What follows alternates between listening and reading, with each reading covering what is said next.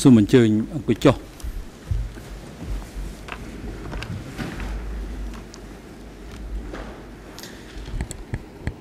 អង្គជំនុំជម្រះស្លាដបងប្រកាសបន្តកិច្ចដំណើរការនីតិវិធីសមនការត្រេចដេញដោលស្ដាប់សក្ខីកម្មលើសាក់សី និងជាអ្នករស់រានមានជីវិតពីមន្ទីរស21ឈ្មោះវណ្ណាតតទៅទៀតជាកិច្ចបន្តនេះសូមបកគលយុតិកាជូនទៅអស់លោកលោកស្រីចក្រមនៅក្នុងអង្គជំរះតើមានសំណួរអ្វីត្រូវសួរដល់សាក់សី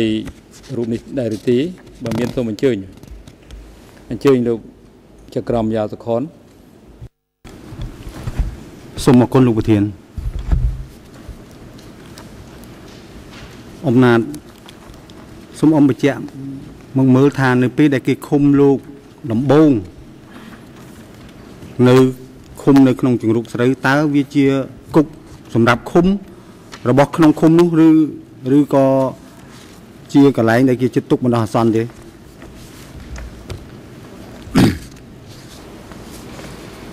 បាទជំរាបសារលោកចក្រម ការឃុំខ្លួនរបស់ខ្ញុំបានដំបូងបំផុតគឺនៅក្នុងជំរកស្រូវនេះជាកន្លែងឃុំរបស់សហគរសហគរ5បាទ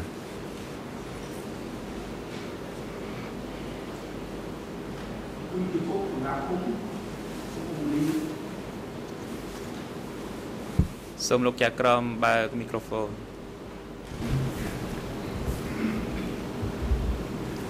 គឺជាគុកសម្រាប់ឃុំស្រុកសង្កែហ្នឹង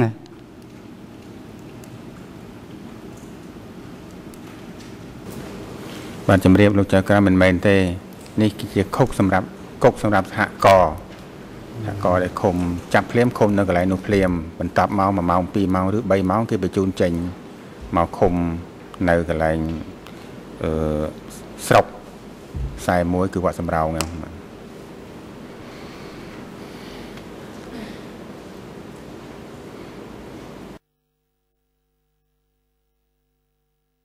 យកមកឃុំនៅវត្តសំរោងតើកន្លែងឃុំហ្នឹងគឺកម្រិតណាដែរកន្លែងឃុំហ្នឹង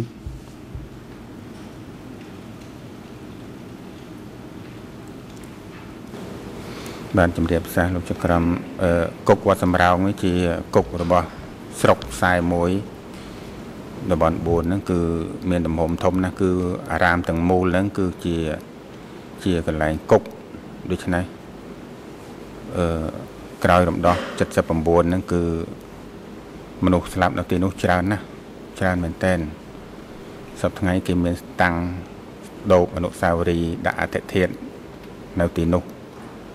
ធំមួយបានជំរាបសាសប៉ុណ្ណឹងបាទ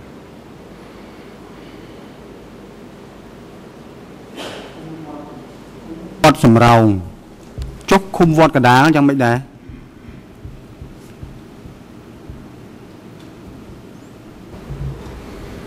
បាទជំរាបសាសអឺកន្លែងឃុំវត្តកដាលគឺតាមខ្ញុំបានយល់ប្រហែលជារបស់ភូមិភាគគេយប់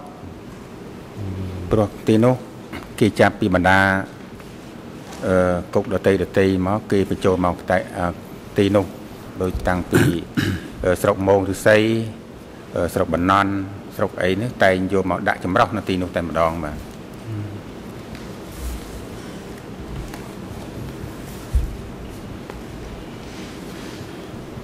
នៅពេលដែលលោកត្រូវបានគេឃុំនៅ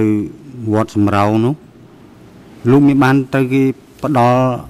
របបអាហារឲ្យទេថ្ងៃនោះ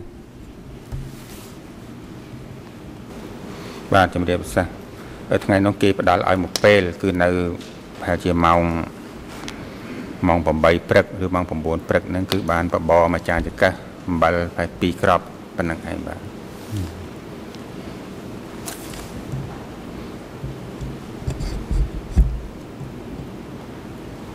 ពេលសម្រាប់នៅយប់នោះតើគេមានបានដោះខ្នោះដៃអុំចេញទេ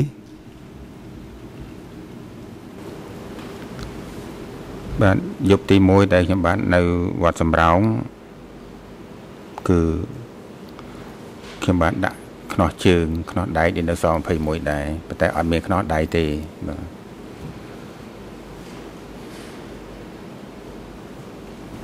នៅទីនោះមានគេមានបានហៅអ៊ំទៅសួរចម្លើយទេបាទជំរាបសារអត់អត់មានទេព្រោះនៅរយៈពេលខ្លីបាទ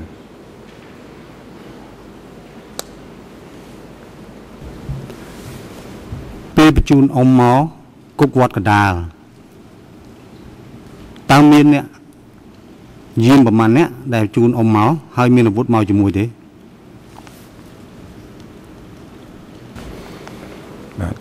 ជំរាបសារលោកចៅក្រមខ្ញុំចេញដំណើរវិវត្តសម្រោងមកវត្តកណ្ដាលគឺអឺមានយោធា2នាក់ម្នាក់គាត់អ្នកបើកម៉ូតូហើយម្នាក់ទៀតគាត់ស្វេអាការស្វាយបត់បដើមអង្គុយពីក្រៅខ្ញុំបានដូច្នេះក្នុងម៉ូតូមួយហ្នឹងគ្នា4នាក់អ្នកបើកយោធាហើយបន្ទាប់មកខ្ញុំបន្ទាប់មកអ្នកទោសដូចខ្ញុំម្នាក់ទៀតហើយបានយោធាម្នាក់នៅពីក្រោយបាទ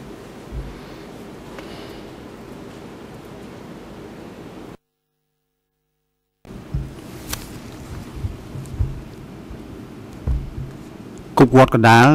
អ៊ំបានបញ្ជាក់អំបញ្ញមិញគឺថាកម្រិតថ្នាក់គុកភូមិភាគតើអ៊ំដឹងថាអ្នកណាគេគ្រប់គ្រងគុកនៅភូមិភាគនោះ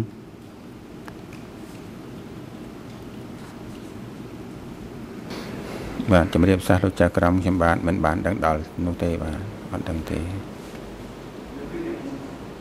ទៅដល់វត្តកណ្ដាលនោះតើខាង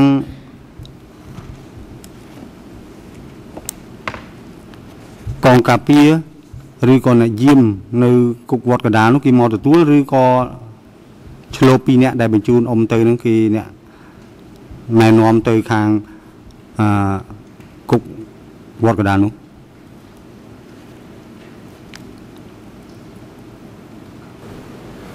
បាទជំរាបសារលោកចៅក្រមពេលនោះគឺយោធា2នាក់ដែលដឹកម៉ូតូខ្ញុំបាទមកដល់មុខវត្តហ្នឹងគាត់គាត់ទៅចោះ ម៉ូតូឈប់ភ្លាមពឹបហ្នឹងគឺយោធាចេញពីក្នុងវត្តទៅ3 4នាក់ស្រេចហើយពេលហ្នឹងគឺទៅដល់ដូចគេណាត់នេះទុកស្រេចអញ្ចឹងហ្មងក៏ទៅដល់ខ្ញុំអត់តាន់ចោះពីម៉ូតូស្រួលបួលហ្នឹងទៅដល់គេចាប់ដៃយើងទៅក្រោយដាក់ស្រេចព្រឹបព្រឹបគេថាស្នំគេនិយាយថាសុំស្នើចងមករយៈសិនទៅដល់គេចងយើងនឹងឯងព្រឹបព្រឹបទៀត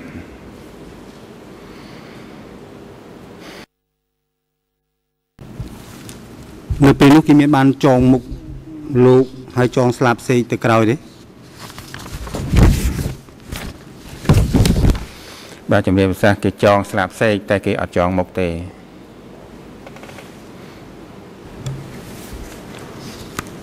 មានគេចុះឲ្យចុះឈ្មោះហើយយកទៅថតរូបទេ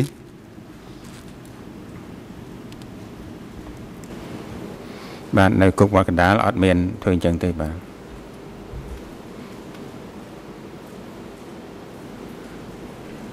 នៅពេលនោះគេយកលោកទៅណាបាទក្រោយគេចងយើងភ្លាមគេបញ្ជូនយើងបំបែកផ្លូវគ្នាម្នាក់ទៀតឈ្មោះសាយសារៈនោះគេបញ្ជូនទៅឆ្វេងហើយខ្ញុំគេមកខាងស្ដាំ ចូលក្នុងបន្ទប់បន្ទប់នោះជាកត់លោកពីដើមមកជាកត់លោកបញ្ចូលក្នុងកត់លោកហ្នឹងទៅខ្ញុំឃើញខាងក្នុងហ្នឹងមានគ្នា4នាក់ស្រេចហើយនៅទីហ្នឹងក៏ដល់គេដាក់ដោះខ្នោះចេញដាក់ជើងខ្ញុំចូលក្នុងខ្នោះហ្នឹងជាមួយគេហ្នឹងបាន5នាក់ហ្នឹង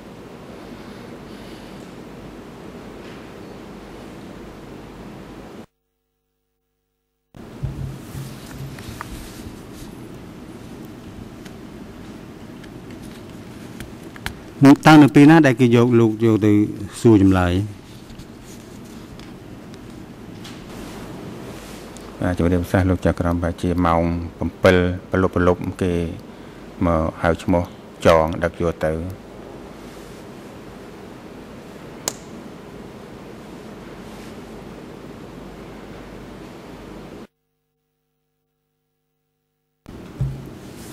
ពេលត្រឡប់មកពីសួរចម្លើយវិញ តើលោកគេបានទៅដោះខ្នោះចេញឲ្យសម្រាប់ទេបាទជំរាបសាស្ត្រលោកចៅក្រមយើងមកវិសួរចម្លើយវិញពេលនោះអារម្មណ៍យើងវាបាត់បង់ស្មារតីអស់ពាក់កណ្ដាលហើយគឺខ្ញុំដើរមកគេដោះខ្នោះដៃចូលក្នុងខ្នោះជើងវិញដដែលតែប៉ុណ្្នឹងសុំទឹកផឹកក៏គេមកឲ្យយើងផឹកដែរយើងសងំទៅចូលក្នុងខ្នោះធម្មតាបាទ តាម ការបញ្ជាក់របស់លោកគឺថាលោកបានត្រូវជាប់ឃុំនៅវត្តកណ្ដាលនេះរយៈពេល7ថ្ងៃចុះថ្ងៃបន្តបន្តមកទៀតគេនៅតែធ្វើនៅតែហៅលោកទៅសួរចម្លើយអញ្ចឹងហើយបន្តធ្វើទរណកម្មបន្តទៀតបាទជំរាបសារលោកចៅក្រមខ្ញុំមកដល់វត្តកដាលខ្ញុំគេហៅទៅសួរចម្លើយតែម្ដងគត់គឺថ្ងៃដំបូងនោះដែរតែម្ដងទេបាទ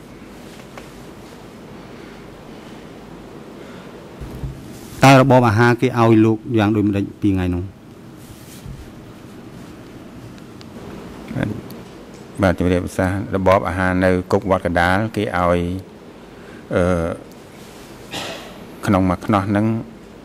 ជួន5នាក់ជួន6នាក់តែយើងដាក់បាន6នាក់ទេក្នុងខ្នោះហ្នឹងអឺបើទោះបី5នាក់ក៏ដោយ6នាក់ក៏ដោយក៏គេឲ្យតែមួយស្នូកស្នូកហ្នឹងគេធ្វើផលិតអំពីកេះក្រោបកំភ្លើងធុនតូច ពាក្យកដាលណាគេដាក់បបរក្នុងហ្នឹងដាក់តែមួយស្នូកនោះដាក់តែមួយហ្នឹងនៅលើនៅលើខ្នោះឈើហ្នឹងហើយមានស្លាបព្រាហ្នឹងបើតាគ្នា4នាក់អស់គ្នា5នាក់ស្លាបព្រា5គ្នា6នាក់ស្លាបព្រា6ហើយអំបិលហ្នឹងគេដាក់មកចុកនៅលើអានេះខ្នោះឈើហ្នឹងជួនមានកូនចានជួនអត់កូនចានហើយយើងយកអំបិលមកក្រាប់ម្នាក់មកកាន់ទៅហើយស្លាបព្រាយើងដួសបបរក្នុងចានរួមជាមួយគ្នាហ្នឹងទៅ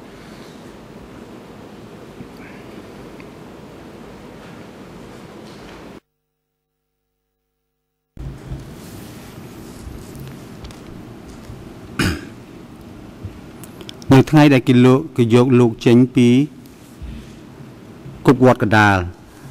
តើលោកដឹងថាកម្លាំងណាដែលគេទៅយកលោកនឹងហើយឡាននឹងទៅយកនឹងជាឡានចេញមកពីកន្លែងណា ពីអង្គភាពណាដែលយកទៅយកលោកនោះ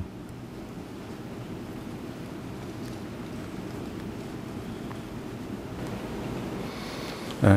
ជំរាបសួរលោកចៅក្រមពេលនោះខ្ញុំបានអត់បាន ដឹងទិសតំបន់អីថាពី អង្គភាពណាជាអ្វីណាទាំងអស់គ្រាន់តែគេហៅឈ្មោះឡើងឡានទៅឡានគេចាំយើងស្រេចបើកបើកអាកនុកអាឃ្លុកកណាត់នឹងចំហស្រេចពីក្រោយនឹងដាក់ចដាវយើងឡើង ឡើងគ្រប់គ្នាអស់ហើយគេហៅឈ្មោះម្ដងទៀតគ្រប់គ្រាន់អស់ហើយបានគេទម្លាក់អាកណាត់នឹងបិទមកចិត្តទាំងអស់ដូច្នេះយើងមិនអាចមើលឃើញអ្វីទាំងអស់ថា គេជាអង្គភាពណាជាអីណាខ្ញុំអត់ស្គាល់ទេជំរាបប្រសាសន៍បាទ លោកមានបានកលេចមើលផ្លាកលេខឡាននោះមានផ្លាកលេខទេជំរាបប្រសាសន៍អត់ទេអត់បានមើលទេបាទ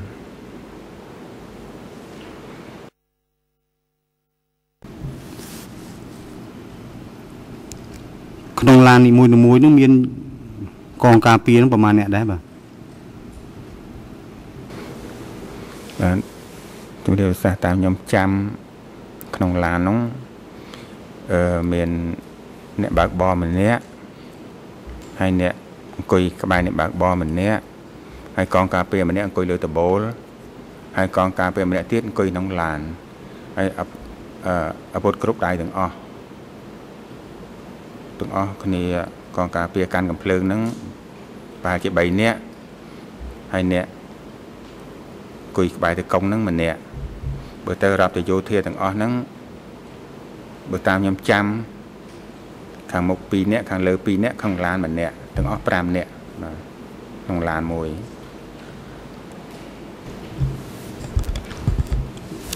លោកមានបានប្រៀបធៀបទេថាការឃុំនៅគុកស្រុកភូមិពាកនិងស21តើលោកគិតថាឃុំនៅទីណាដែលពិបាកជាងគេលើកលែងតែនៅស្រុកក្នុងការសួរចម្លើយយើងមិនលើកមកនិយាយទេ នៅភូមិភាគជំរាបសារលោកចៅក្រមតាមអារម្មណ៍ខ្ញុំបានពេលនោះខ្ញុំឆ្លងកាត់គុក3នេះពេលធ្វើដំណើរមកដល់មកដល់ក្នុងបរិវេណស21ពេលដែលគេថតរូបហ្នឹងខ្ញុំបានមានអារម្មណ៍ថាទីនេះជាកន្លែងគុកមន្ទីរឃុំឃាំងដែរប៉ុន្តែហាក់ដូចជាចិត្ត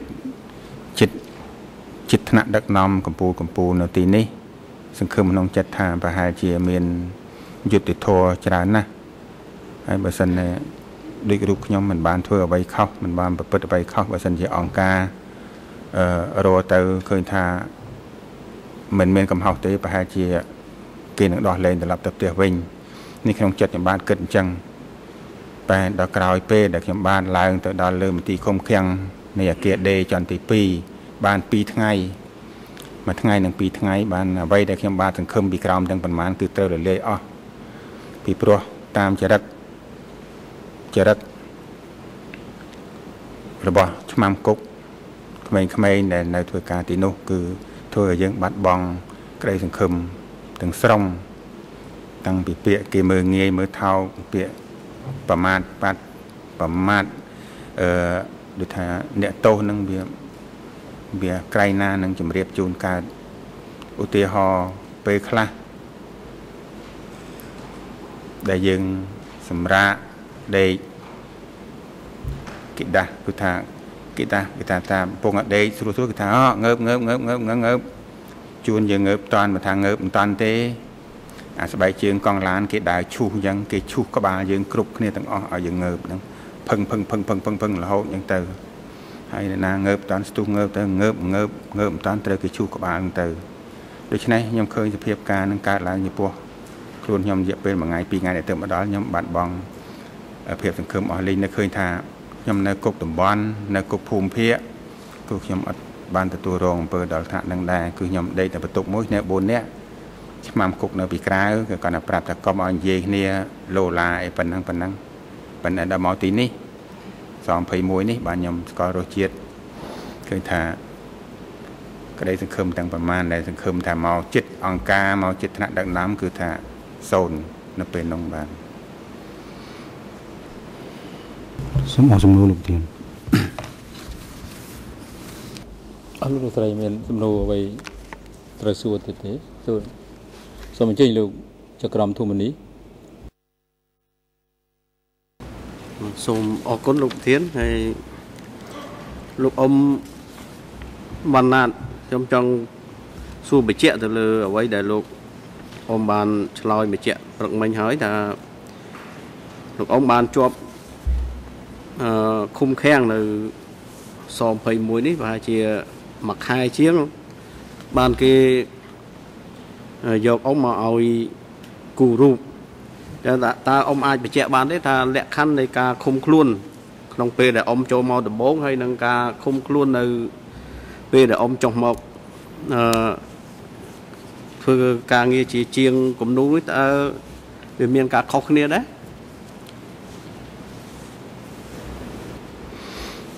បាទជំរាបសាលោកចក្រមទាំងពីរនេះគឺខុសគ្នាស្រឡះដូចមេឃនឹងដីបាទការខ្ញុំនៅខាងលើនោះគឺ ដូចខ្ញុំជម្រាបខាងដើមអញ្ចឹងគឺយើងអត់មានសិទ្ធទេ យើងបានតែតែសម្រាប់ដេកគឺដេកចង់ធ្វើអ្វីយើងសុំអ្នកយាម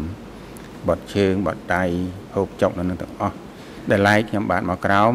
ខ្ញុំមានសេរីភាពគ្រប់គ្រាន់ទាំងអស់ក្នុងការដើរហើរប៉ុន្តែបានក្នុងបន្ទប់ខ្ញុំធ្វើការហ្នឹងបន្ទប់ហ្នឹងទៅតឹងប្រហែលជា4ម៉ែត្របណ្ដោយប្រហែលជាជាង10ម៉ែត្រហ្នឹង7 8ម៉ែត្រខ្ញុំមានសិទ្ធដើរបានទាំងអស់ក្នុងហ្នឹង កាលណាខ្ញុំចង់ចេញក្រៅខ្ញុំសុំច្បាប់ឆ្មាម្នាក់ដែលគាត់យាមការខុសត្រូវនៅទីនោះគាត់ឲ្យចេញក្រៅបត់ជើងតូចបត់អីចឹងមុជទឹកអីចេញញ៉ាំទានបាយអីគឺគាត់ឲ្យសិទ្ធចេញទៅក្រៅបានក្នុងរយៈពេលជិតជិតហ្នឹងដូច្នេះបើប្រៀបធៀបទៅវាខុសគ្នាដូចមេឃនឹងដីយើងជំរាបលោកចៅក្រមបាទចុះការសម្រាប់ពេលយប់តើគេមានដាក់ខ្នោះដៃខ្នោះជើងដែរ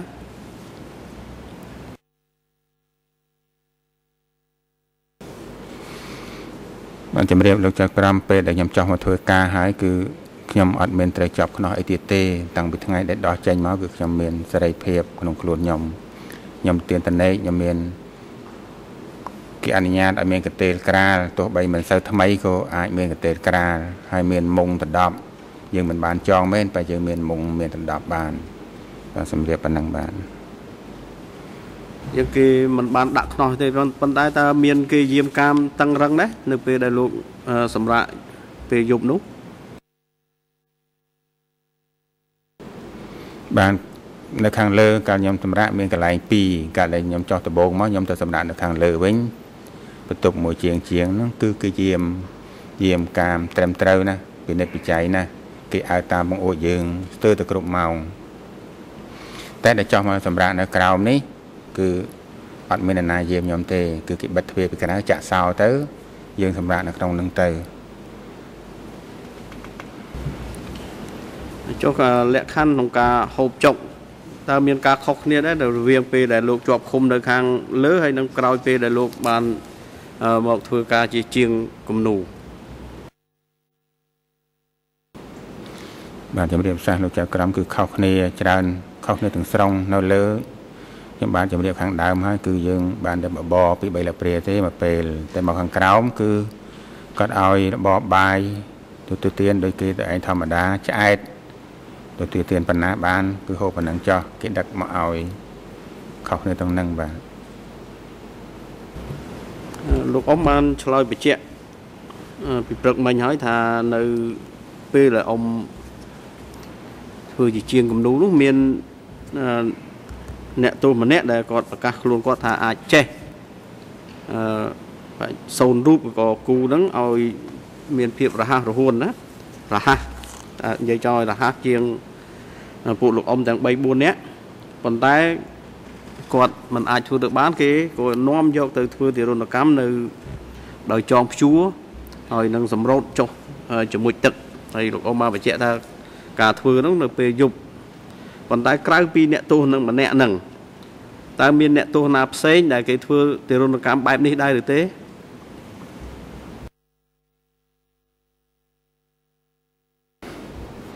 បាទជំរាបសារលោកចៅក្រមគឺខ្ញុំបានឃើញតែម្នាក់នឹងគាត់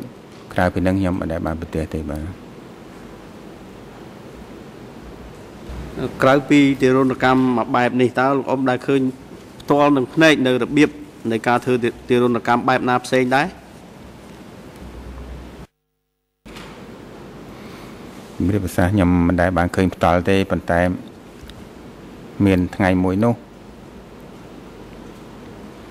អឺឆ្មាំគុកម្នាក់ហើយមានអង្គភាពសួរចម្លើយខាងសួរចម្លើយគេនាំអ្នកតោសួរចម្លើយពេលនោះខ្ញុំកំពុងតែរៀបចំអឺលេស៊ីម៉ងចាក់ពុំរូប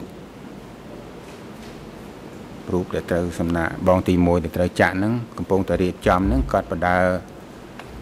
អ្នកទោសហ្នឹងមកដល់ក្បែរមាត់បង្អួចហ្នឹង គាត់ហៅខ្ញុំថានេះជាងខ្ចប់ស៊ីម៉ងមកខ្ចប់មកខ្ញុំពេលហ្នឹងខ្ញុំខ្ចប់ជូនគាត់ទៅស្មានតែគាត់យកទៅបិទពីងបិទអីបិទស្អីខ្ញុំអត់ដឹងទេព្រោះស៊ីម៉ងមានអីការតែពីបិទរបស់ដែលដែលត្រូវបិទគោហីទៅគាត់យកឲ្យគាត់គាត់ទៅបាត់ទៅតែដល់មកវិញខ្ញុំឃើញមនុស្សដែលគាត់ដឹកពីក្នុងចេញទៅមុននឹងខ្ញុំជូនស៊ីម៉ងគាត់ហ្នឹងមកវិញក្បាលគាត់ក្បាលអ្នកទោសហ្នឹង គឺប្រឡាក់សិតទៅស៊ីម៉ងដូច្នេះខ្ញុំអារម្មណ៍ខ្ញុំគិតថាគាត់ប្រហែលយកស៊ីម៉ងមិញបែបតែធ្វើម៉េចជាមួយអ្នកទោសហ្នឹងហើយចាខ្ញុំឃើញតែអញ្ចឹងទេអាគឺតែដានក្រោយក្រោយទេតែចំពោះផ្ទាល់ភ្នែកខ្ញុំមិនដែលឃើញទេបាទសូមអរគុណលោកធាតខ្ញុំអស់សំណួរ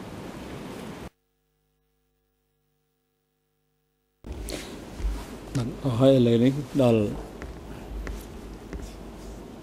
វិធីការរបស់សហប្រញ្ញាអង្គជំនះសូមជូនវិធីការនេះទៅសហប្រញ្ញាដើម្បីមានឱកាសតាំងសំណួរដល់សាក់សីឈ្មោះវណ្ណាតរូបនេះហើយសូមជម្រាបផងដែរថាសហប្រញ្ញាមានពេលវេលា30មីនិតសូមអញ្ជើញ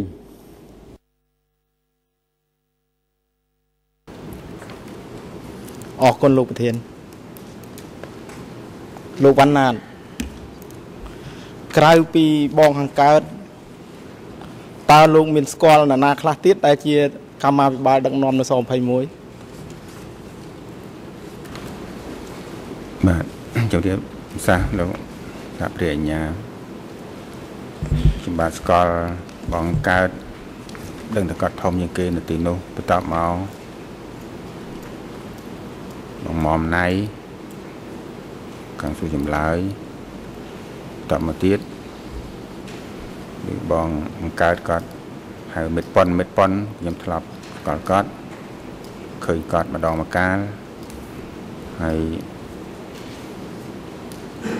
បន្តមកទៀតឈ្មោះហួរសមមិត្តហោគេហៅថាបងហោបងហោដែរគាត់អ្នកធំនៅទីនោះដែរតែខ្ញុំមិនដឹងគាត់ទូនាទីអីច្បាស់លាស់ទេខ្ញុំគាត់ហៅថាគាត់ ហៅគាត់បងខាងលិចបងខាងលិចគាត់ទៅនៅខាងលិចគេតែងសួរខ្ញុំមានខ្លះឆ្មាំគុកខ្លះគាត់សួរតើមើលមានបងណាចូលមកមើលដែរបើបងហួរមកខ្ញុំប្រាប់ថាបងលិចក៏ចូលមកបើបងកើតមកខ្ញុំប្រាប់ថាបងកើតក៏ចូលមកហើយក្រៅពីហ្នឹងមានលោកពេងហើយមិត្តពេងគាត់អង្គភាព ខាងកងពិសេសហ្នឹងមិត្តហុយសុធីមិត្តប៊ូសិតតែគេអង្គភាពគេខ្លាំងខ្លាំងសម័យហ្នឹងអាហ្នឹងដែលគាត់ចំណាំចេញចូលចេញចូលកន្លែងគូរូបគាត់មើលខ្ញុំស្គាល់គាត់តែខ្ញុំចាំស្គាល់បានប៉ុណ្ណឹងបាទអរគុណសំណួរបន្តតើលោកបានឃើញចំណារបស់ដូចចាថាទុកសិនទុកប្រើសិន គឺទុករូបលោកតើលោកឃើញនៅពេលណា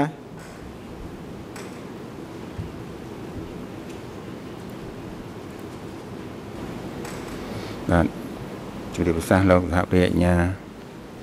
អឺឯកសារនេះខ្ញុំបាទបានឃើញ នៅក្រោយថ្ងៃរំដោះឆ្នាំ1979រវាងខែម្រៀងឆ្នាំ1980អីហើយព្រោះអ្នកស្រាវជ្រាវឯកសារគេ គេពិនិត្យពិនិត្យគ្រប់ដែរគេឃើញឈ្មោះខ្ញុំហ្នឹងគេកាន់មកបង្ហាញខ្ញុំខ្ញុំឃើញនៅពេលនោះតែខ្ញុំមិននឹកស្មានថាខ្ញុំមានចំណាខ្ញុំគាត់នៅឃើញចំណាហ្នឹងភ្លាមខ្ញុំជំរាបត្រង់ខ្ញុំដូចថាចង់គ្រុនពេលនឹងភ្លាមពីព្រោះអត់ដឹងថាខ្លួនត្រូវគេដកទុកប្រើពីព្រោះក្នុងម៉ាលីសដែលខ្ញុំមើលហ្នឹងគឺឃើញឈ្មោះប្រហែលជាជាង10នាក់ត្រង់ឈ្មោះខ្ញុំហ្នឹងគេឆូតបតតកុហកមួយហើយដាក់ វងកញ្ចក់ថាទុកប្រើហើយក្រៅពីនោះគឺថាគេត្រូវកំតិចទាំងអស់បើក្នុងរវាងប្រហែលថ្ងៃ16 16 17ខែ2ឆ្នាំ1978បើសិនតែខ្ញុំអត់បានមានចំណានឹងទេខ្ញុំចាប់បាត់ហើយពេលហ្នឹងបាទចំណានោះលោកគិតថាជាចំណារបស់ដូចទេខ្ញុំបានកាលកាលខ្ញុំឃើញចំណាភ្លាមខ្ញុំឃើញដាក់ ខ្ញុំជម្រាបលោកប្រសាព្រះញ្ញាថាឈ្មោះដូចនេះខ្ញុំអត់ដែលស្គាល់សោះពីដើមមកខ្ញុំមិនបានចាប់អារម្មណ៍ថាបងអង្កើតក៏ឈ្មោះដូចទេខ្ញុំធ្លាប់ស្គាល់គាត់តែបងកើតបងកើតដល់ឃើញដូចហ្នឹងឈ្មោះថាដាក់ថាទុកឲ្យដាក់ដូចបន្តិចហ្នឹងលើកដាក់ថាស្នើកំតិចអញ្ចឹងទៅខ្ញុំគេប្រាប់ខ្ញុំថាដូចហ្នឹង ប្រធានគុកហ្នឹងឈ្មោះដូចហ្នឹងណាបាទខ្ញុំចាប់អារម្មណ៍ថាអញ្ចឹងបងអង្កើតខ្ញុំទៅមិនស្គាល់ចំណាគាត់បងអង្កើតហ្នឹងនៅពេលនោះឯងដែលគាត់ដឹងថាគាត់ឈ្មោះដូចតែការពេទ្យចំណាហ្នឹងគឺចំណារបស់បងអង្កើតច្បាស់លាស់បាទលោកលោកគិតទៀតថាដូចនឹងមានអំណាចធំជាងគេនៅដែលស21នោះ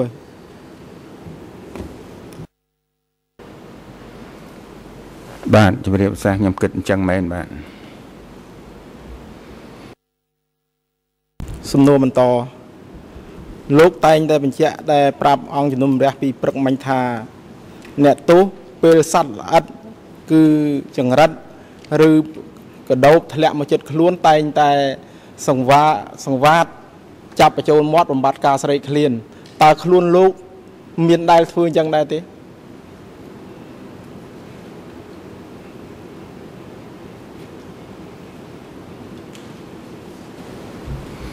បាទជំរាបសាស្ត្រលោកព្រះអញ្ញាខ្ញុំបានព្យាយាមធ្វើនឹងគេដែរប៉ុន្តែមិនបានមូលហេតុមិនបានទេព្រោះខ្ញុំបាននៅឆ្ងាយពីភ្លើងភ្លើងអគិសនីខ្នោះខ្ញុំបាននៅចិត្តអញ្ចឹងហើយភ្លើងអគិសនីនៅប៉ែកខាងបង្អួចនេះដូច្នេះខ្ញុំមិនដែលបានទេ តែព្យាយាមដែរតែមិនដែលបានដូចគេទេបាទអរសំណួរលោកតឡាការសូមឲ្យសហការីខ្ញុំបន្តសំណួរអញ្ជើញសហប្រញ្ញាអន្តរជាតិ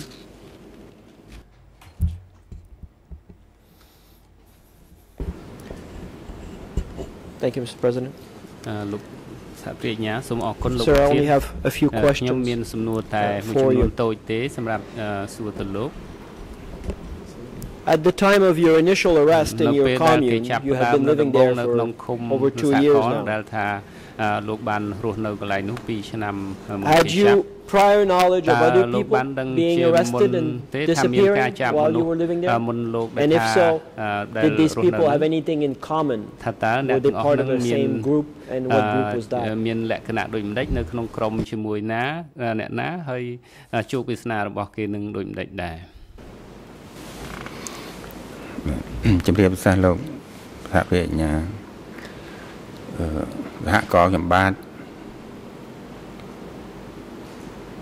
គឺអត់នឹងការចាប់ខ្លួននេះ គឺមានជារៀងរាល់ថ្ងៃ ជារៀងរាល់ខែមិនដែលលាស់ថ្ងៃណានេះគាត់ថាវាខុសកន្លែងគ្នាអឺថ្ងៃណាទៅចាប់ក្រុមនោះ3 4នាក់ថ្ងៃណាទៅចាប់ក្រុមនេះ2 3នាក់ទៅ ហើយអ្នកដែលចាប់ទាំងអស់នោះភាគច្រើនសុទ្ធតែអ្នក17មេសាប្រជាជនថ្មីដូចខ្ញុំដែលចលះចេញពីទីក្រុងទៅដូចគ្នាហើយគេថាទី1គេថាយើង ពាក់ព័ន្ធនឹងនៃការនយោបាយសង្គមចាស់វាជាបលិសវាជាតាហ៊ានវាជាគ្រូបង្រៀនវាជានិស្សិតវាជានេតុនវាជានិយាយរួមជាវណ្ណៈជីជន់ វណ្ណៈដែលជីជន់វណ្ណៈដែលគេបដិវត្តមិនមិនមិនត្រូវទុកអានេះគេធ្វើការចំហក្នុងសហគមន៍គេនិយាយអញ្ចឹងគេថាបដិវត្តជីអត់ដែលវណ្ណៈដែលជីជន់គឺទៅបដិវត្តទៅតែកំតិចចោលដាច់ខាតដូច្នេះម្នាក់ម្នាក់រស់នៅគឺថារងចាំតែថ្ងៃគេចាប់ខ្លួនទេដូចទៅខ្ញុំអីជាដើមដូច្នេះវាសនាអ្នកទាំងនោះដែលគេចាប់ទៅនឹងគឺមិនដែលបានវិលត្រឡប់ទៅវិញទេរហូតដល់ថ្ងៃនេះជំរាបប្រសាសន៍ប៉ុណ្ណឹងបាទ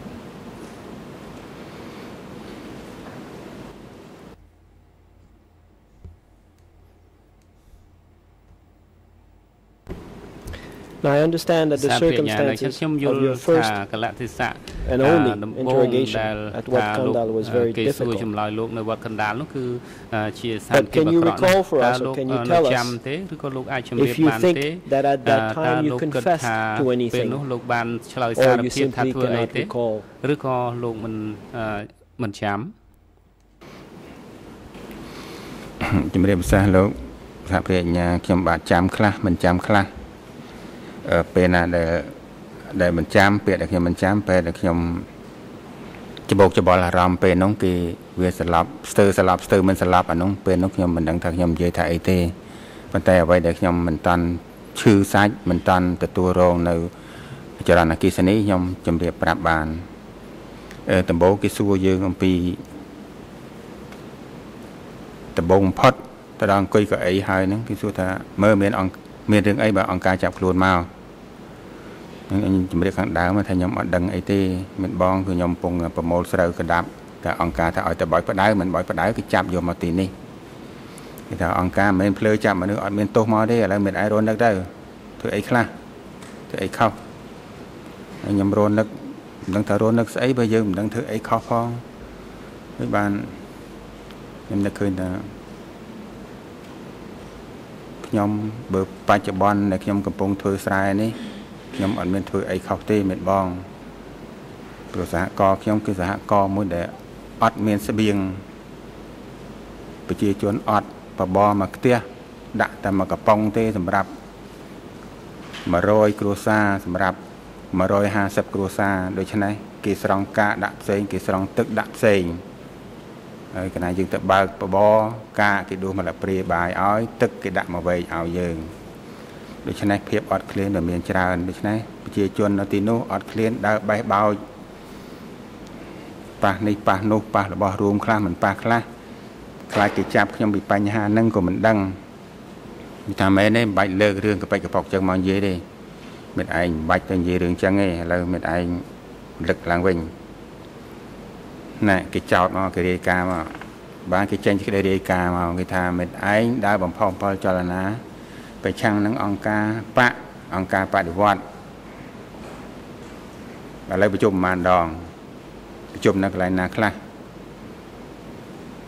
ហើយអ្នកណាខ្លះប្រជុំមួយម្ដាយឥឡូវឈ្មោះអីណាកន្លែងណាឥឡូវនិយាយមកហើយ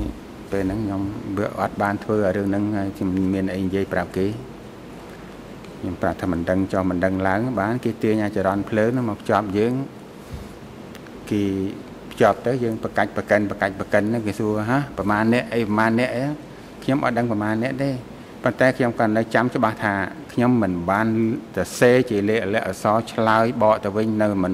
ចំនួនមនុស្សដែលខ្ញុំប្រាប់ឈ្មោះឲ្យតែគេទេគឺខ្ញុំអត់បានទៅសេទាំងអស់គឺខ្ញុំនិយាយតែខ្លួនខ្ញុំម្នាក់ឯងដែលខ្ញុំអត់មានប៉ះពាល់នរណាទាំងអស់ខ្ញុំជម្រាបដែលខ្ញុំចាំខ្ញុំជម្រាបថាប្រញ្ញាគឺខ្ញុំប្រាប់គេថាប៉ុណ្ណឹងតែនិយាយណាជ្រាបបាទ Thank you. សព្រាជ្ញាសូមអរគុណ I would not now like to ឥឡូវ show នេះ you ខ្ញុំ a picture សូមបង្ with ហាញ the នៅ court's រូបភាព permission មួយចំនួនដោយមាន of ការអនុញ្ញាតពី tool តុលា slang ការគឺរូបភាព in នៃ aerial tool slang photography ជារូបភាព To ថត help us ពីអាកាស understand a little ដើម្បី bit ជួយ more ឲ្យយើង your earlier អឺ testimony. យល់ច្បាស់អំពីស That កម្មដែល picture, លោកបាន Mr. ផ្ដល់ President, ពីខាងដើ can ម be found អឺ at រូបភាពហ្នឹង ERN គាត់ថានៅលេខ ERN 001 953 to 373រហូតដល់00 001-95377. អឺរហូត I'm ដល់ not sure of the exact ERN of this particular ខ្ញុំ picture, គិត but ថា if តើ we រូប could have ភាពហ្នឹង the នៅ AV លេខហ្នឹង section ដែលអត់ហើយ put យើង it អាច on នឹង the ជួយ monitors, អឺខាង it will become ប្រព័ន្ធ clear សោត as it ទូ is អាច very នឹងបង្ familiar ហាញ to ថា us. តើរូបហ្នឹងជារូបហ្នឹងអឺដែលយើងស្គាល់ឃើញទាំងអស់គ្នាដែរឬអត់ This is បាទ part of the Zoran Lesic report, បាទ expert នេះគឺ report ថា that was ជា done for អឺ uh, របាយ the ការណ៍របស់ investigation. Zoran Lisic ដែលគាត់បានទៅថតក្នុងពេលធ្វើការសម្ដែងឡើងវិញបាទ សូមសូមបញ្ជាក់ម្ដងទៀត EON ហ្នឹង EON ខ្មែរឬក៏អង់គ្លេសឬក៏បារាំងហើយលេខប្រមាណដល់លេខប្រមាណ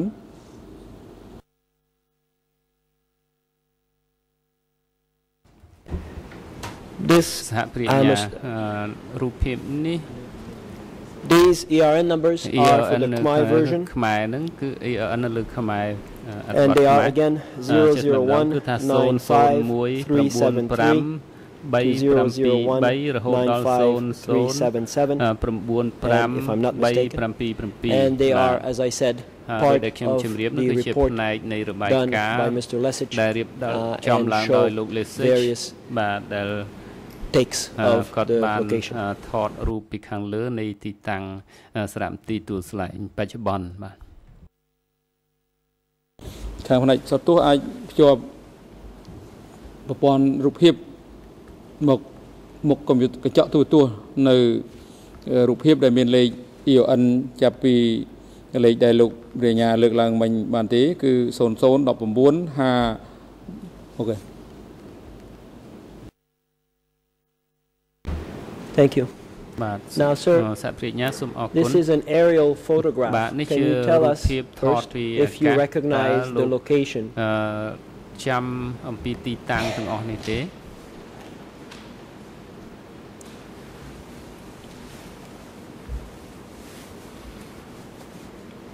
ប្រៀបអឺជម្រាបសាបាទខ្ញុំបាទចាំបាទចាំទាំងអស់បាទ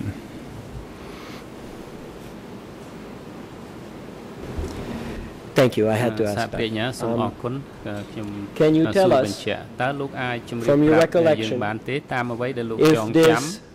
shows ថា the តើ buildings អឺរូបនេះ of បង្ហាញអំពីអគារ S21 as they ទាំង were ឡាយ then នៃ when អឺ you ស were detained. 21ដូចគ្នានឹងទីតាំងដែលលោកអឺ នៅអឺជាប់ឃុំឃាំងកាលពេលនោះដែរឬទេជម្រាបសាស្ត្រលោកសហប្រញ្ញាបើយើងនិយាយពីក្នុង ពីក្នុងរង្វង់បរិវេណខាងក្នុងផ្លូវស21គឺគឺដូចសម័យនោះមែនប៉ុន្តែ ខាងក្រៅនេះគឺប្រែប្រួលអស់ហើយពីខាងក្នុងនៅនៅច្រើន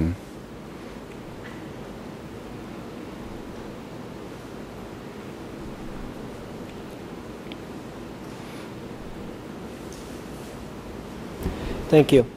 អឺសហ Can you ព្រាជ្ញា tell us សូមអរគុណ then តើ when លោក you អាច first អឺ got ប្រាប់ to អឺយើងត S21 ទៅទៀតទេនៅពេល in ដែល which អឺ building អឺ were you ដែល detained? ថា And you អគារ may ណា use មួយ the ដែល letters that are represented បាទ on ដែលគេ this ឃុំខ្លួន picture លោក to help អឺ us មុនដំបូង understand. គេហើយលោកអាចបញ្ជាក់បានទេនៅអគារណាមួយដើម្បីឲ្យយើងអាចយល់បានជម្រាបសាស្ត្របានខ្ញុំចប់ដំបូងបំផុតនៅអគារ D អគារអសរ អសរ D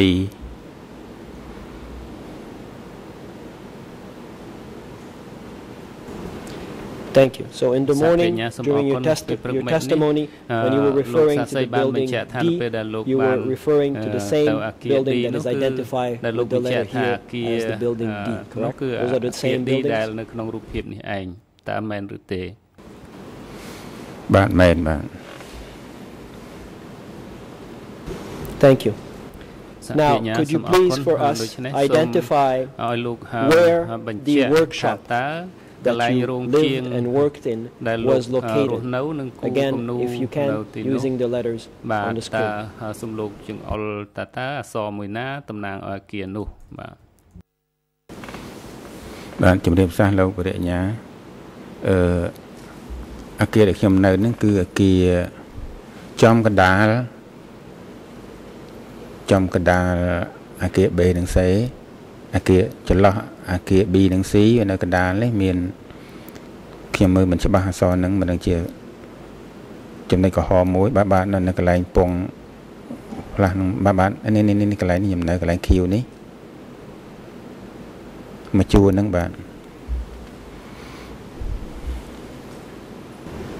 Would I be correct in សហគ្រាស saying ញ្ញា that this តើ is ត្រូវទេខ្ញុំអាច the line of ហៅថានេះ buildings ជា identified with the អគារ letter មួយ E ជួរ where the pointer ដែល is now ហៅថា running up and អ down? គារ E ដែលថាដែលយើងរុញព្រួញឡើងចុះនេះមែនឬទេបាទបាទមែនបាទហ្នឹងហើយ Thank you. And សហគ្រាសញ្ញា your សូមអរគុណ workshop, ហើ more យនៅក្នុងរោង precisely, ជាងហ្នឹង where បើនិយាយ Dirk ឲ្យ would ចំ come ទៅ to ដែល visit you ដូច almost បានទៅ every day. មើល Will it អឺ be លោកធ្វើ closer តែរៀងរាល់ថ្ងៃ to the តើ entrance, នៅជិត which we see at the លើកន្លែង bottom ច្រក of this ចូល line of building, ខ្លងទ្វារ or ចូលឬ closer ក៏ to the back ឬក៏ towards នៅ building ជិត B and C? ខាងអ Where គា was រ it? B and C នៅខាងក្រោយតើវានៅអឺចំណុចត្រង់ណាបាទបាទជំរាបសាស្ត្រលោកហបរិញ្ញាគឺនៅផ្នែកខាងក្រោយ ផ្នែកខាងក្រោយនៃនៃអក្សរ E នេះបាទបាទបាទតង់កន្លែងពុចហ្នឹងហើយនេះនេះខាងនេះមកខាងនេះវិញបានមិនមែនទេមកក្រោមក៏ បាទបាទហ្នឹងហើយហ្នឹងចំណុចហ្នឹងបាទ Thank you. So សហគ្រាស therefore, ញ្ញា where the សូមអរគុណ pointer ដូ is ច្នេះ resting យើង on ចុច this នេះ little គឺ blue dot បាទអ there ញ្ចឹងគឺថា towards នៅ the ចំ end ចំណុច between ពណ៌ខៀ building វ B កន្លែង and ហ្នឹង C. គឺថានៅ Is ក្ that បែរ correct? ចុងអគារ B និង C ត្រង់ចំណុចហ្នឹងតើត្រូវទេលោកសាក់សីបាទជំរាបសាស្ត្រត្រូវបាទ So am I to understand សហគ្រាស therefore ញ្ញាដូច្នេះតាម that ដែលខ្ញុំ when Doig ទៅ came ឃើ to ញយល់ថា visit នៅ you ពេលដែល almost ដូចគាត់មើល every មក day, មើលលោក he គឺតែ had រាល់ថ្ងៃនោះ therefore to ដូច្ walk នេះគាត់ across ត្រូវតែដើរ pretty much គឺថា the main កន្លែង part មួយ of the ឆ្ងាយគឺ compound ថា to អឺ come នៅ to your ក្នុង workshop, បរិវេណហ្នឹង either ឆ្ងាយ through the ដើម្បីមក building ដល់រោងជាង or តា around in ទោះ the ជាដើរ courtyard តាម itself. អឺអ Correct? គារឬក៏ដើរនៅកន្លែងបរិវេណលំហតើអញ្ចឹងដែរឬទេបាទ បាទជំរាបសាស្ត្រខ្ញុំ ខ្ញុំមិនច្បាស់ថាគាត់អញ្ជើញទៅតាមណាទេប៉ុន្តែគាត់ថាពេលដែលគាត់ទៅដល់បន្ទប់ខ្ញុំខ្ញុំឃើញគាត់នៅក្បែរបង្អួចនឹងស្រេចហើយអឺនៅនៅខ្ញុំមិនអាចមើលក្រៅពីនឹងឃើញទេខ្ញុំមើលបានតែក្បែរបង្អួចហ្នឹងគឺឃើញសមោលមកខ្ញុំឃើញគាត់ឈរនៅកន្លែងហ្នឹងបានដឹងថាគាត់អញ្ជើញទៅដល់ហើយបាទត្រង់គាត់ទៅតាមណាខ្ញុំអត់បានដឹងទេបាទ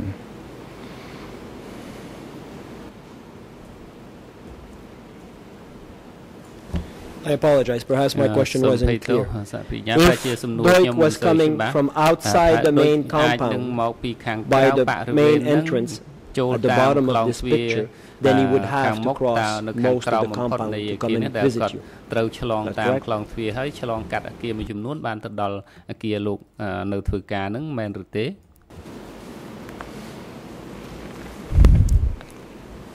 បាទខ្ញុំមិនច្បាស់ទេបញ្ហានេះប៉ុន្តែខ្ញុំបាទសន្និដ្ឋានជម្រាបជូនចេះថាគាត់ចូលតាមទ្វារធំនេះគាត់អាចតាមដើរតាមផ្លូវទូចនេះក្បែរនេះអែបអាគារទាំងវែងហ្នឹង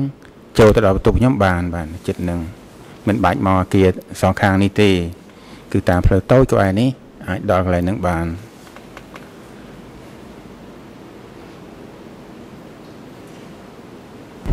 Thank you. សហប្រាជ្ញាសូម Now, អរគុណ during នេះ those visits, នៅក្នុងពេលដែលគាត់ទៅម្ដងម្ដ the ង president asked you នោះ earlier លោកប្រធានអង្គជំនុំជម្រះ how បាន did សួរលោក Doig ខាងដើម appear, ថា but តើ perhaps it កប្ប wasn't កិរិយារបស់ perhaps ដូច it's ដូច the មិនដែរ translation ប្រហែល issue, ជាយើង but មាន it បញ្ហា wasn't បក quite ប្រែមិន clear បាន to me អឺច្បាស់ what ដល់ the ឲ្យ answer ខ្ញុំយល់បានអំពីចម្លើយរបស់ was. លោក So អឺ let ដែលបាន me បញ្ជាក់ perhaps អញ្ចឹង rephrase ខ្ញុំ the សូម president's question. អឺខ្ញុំអឺសូមរៀប clear During សំណួរ those របស់លោក visits, ប្រធានឡើងវិញក្នុងពេល Did ដែល at គាត់ any មកនោះ time តើ Doig ពេល appear ណា to មួយ you ដែល to be scared ដែលលោកមើលទៅថាលោកដូចគួរឲ្យ or ខ្លាច depressed ឲ្យភ័យទេឬក៏ធ្វើឲ្យយើងមានអារ or ម្មណ៍តាន somehow តឹង anxious? ឬក៏យើងមានអារម្មណ៍ទះតែងដោយភ័យខ្ You លាចទេ understand my question? តើលោកអឺយល់សំណួរខ្ញុំទេបាទខ្ញុំបាទយល់សំណួរបាទខ្ញុំអារម្មណ៍ខ្ញុំពេលនោះខ្ញុំគិតតែមួយយ៉ាងទេគិតថាកណាខ្ញុំធ្វើរូបទៅបានល្អបានស្អាតគាត់ ពេញចិត្តគាត់មើលមកឃើញពេញចិត្តសប្បាយចិត្តនោះទឹកមុខមាត់គាត់រីកសប្បាយនោះខ្ញុំសប្បាយចិត្តប៉ុណ្ណឹងខ្ញុំខ្ញុំឃើញថាជាការជោគជ័យក្នុងជីវិតរបស់ខ្ញុំហើយកណាមកទឹកមុខគាត់មិនសូវល្អមើលទៅហាក់ដូចជាមិនសូវចាប់អារម្មណ៍ហ្នឹងធ្វើឲ្យយើងមានការរន្ធត់ចិត្តខ្លាចគាត់ដូចថាធម្មតានឹងតែកណាយើងធ្វើមិនបានល្អយើងចេះតែមានការបារម្ភ ពីការងាររបស់យើងចង់សម្គាល់ឃើញគាត់ថាសប្បាយឬទុកព្រួយយ៉ាងម៉េចនោះខ្ញុំមិនដែលហ៊ានសម្គាល់ទេបាទជំរាបសាសបាទ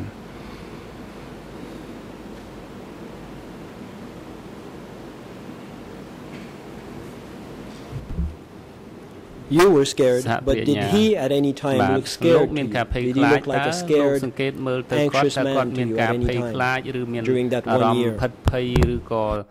អឺតក់ស្លុតអីទេអឺលោកអឺ ដូចនោះបាទ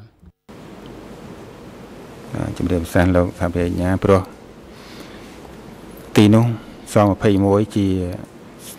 ទីតាំងរបស់គាត់គាត់ធំជាងគេនៅកន្លែងនោះខ្ញុំមិនមានជំនឿថាគាត់ភ័យខ្លាចរឿងអីទេបាទពីព្រោះអ្វីៗគាត់អាចសម្រេចបានអឺអ្នកនៅក្រៅអាវ៉ាតរបស់គាត់ទាំងអស់ខ្ញុំឃើញដូចជាគោរពគាត់កោតខ្លាចគាត់ ខ្ញុំក៏ធ្វើតាមគេដែរដូច្នេះខ្ញុំមានជំនឿថាគាត់ជាអ្នកដឹកនាំដ៏ឆ្លៀសវៃម្នាក់ពេលនោះខ្ញុំអត់ដឹងថាគាត់ធ្វើអីក្រៅទៅពីអ្នកដឹកនាំល្អទេពេលនោះព្រោះអ្វីអ្វីដែលគេគេបញ្ជូនមនុស្សចេញទៅក្រៅចេញទៅអីគឺអត់មានអាណាដឹងទាំងអស់គឺម្នាក់ម្នាក់គិតតែពីថាគេដោះមនុស្សយកទៅសហគរណ៍យកទៅអីអញ្ចឹងទៅអត់នឹកឃើញតែសម្លាប់ទេដូច្នេះអារម្មណ៍ពេលនោះនឹកឃើញថា គាត់ជាថ្នាក់ដឹកនាំម្នាក់ដែលគួរឲ្យគោរពគាត់ប៉ុណ្ណឹងឲ្យត្រង់គាត់អឺធ្វើអ្វីអ្វីក្រៅពីនឹងឲ្យយើង មានគំនិតថាខ្លាចគាត់ដោយខ្លាចគាត់សម្លាប់ចោលខ្លាចគាត់ធ្វើបាបអីខ្ញុំអត់មានគំនិតនឹងទេក្នុងអារម្មណ៍ខ្ញុំបាទសម័យនោះបាទ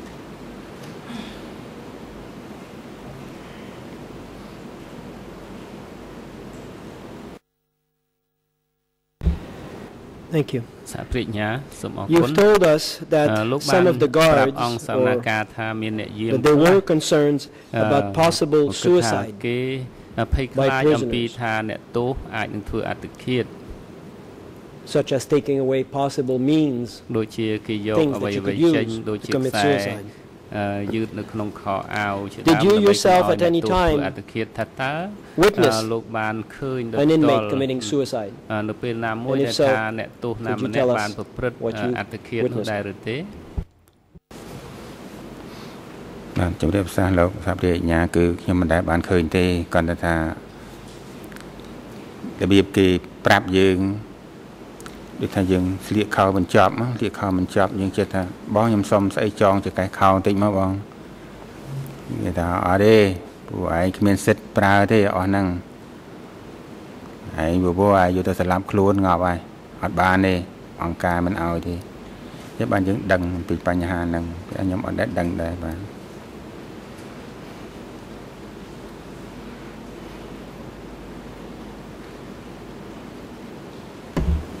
Thank you. សហប្រាជ្ញា Now, សូមអរគុណ Mr. President, I have អឺ a លោកប្រធាន request. ខ្ញុំមានសំណើ to the trial មួយ chamber. អឺជូនអង្គជំនុំជម្រះ Uh, As you know, you ដូច ruled ដែល on អឺ March 10th, អង្គជំនុំជម្រះ 2009 ជ្រាបហើយគឺថា that នៅ a piece ថ្ងៃ of ទី video footage អឺ10ខែមីនា purported មាន to be អឺសេចក្តីសម្រេចមួយដែល of ថា Tuol Sleng អឺមាន a few អឺ days កាសែតវីដេ after អូ its មួយ liberation អឺ Would អំពី be placed ទួលស្លែង on the case សូម file. ឲ្យដាក់ចូលនៅក្នុងសំណុំរឿង That piece of footage, as we've ដែល uh, presented to កា you សែតវីដេអូ through មួយដែល oral យើង and ដាក់ written ជូន submission, នៅក្នុង came to be known អឺ after សំណុំ uh, រឿងដែលអឺ the មាន investigation and indeed right before អឺ the commencement ចម្លើ of យ this របស់សា trial. ក្សីផងគឺថាយើងបានស្នើមុនពី Due ចាប់ផ្ដើម to សវនកម្ម observations uh, អឺ from various ហើយ parties, តាមការសង្កេត you របស់ eventually ភាគី ruled, នានា as I said, អង្គ on ជំនុំជម្រះ uh, បាន March សម្រេច 10th, ថានៅថ្ងៃទី 2009, 10ខែមីនាឆ្នាំ that 2009 the two segments ថា of គឺថា video វីដេអូ footage, តាំងពី one ដុំ showing នេះ purporting to មួយ show the បង្ហាញ location, ដែល the second purporting to show former child inmates. Those videos would be placed on the case file, and I quote, subject to a review of the relevance and authenticity during the substantive hearing, unquote. And you've then directed the parties who so wish to do so uh, to file written observations regarding those videos, which, if I recall, the defense did, and I believe other parties did. We also have, if I'm not mistaken, further a witness who uh, is, would be able to assist us, perhaps, at least for one of those two uh, piece of evidence. Now, much has been said, much has been argued about these, uh, this footage. I would suggest, following the guidance you gave us, that we now have before us a witness who has, uh, by his own admission, uh, seen the location, seen the scene of the crime, so to speak, within about seven days after its uh, liberation, and who could certainly, given his accurate and quite forceful testimony today, probably help us.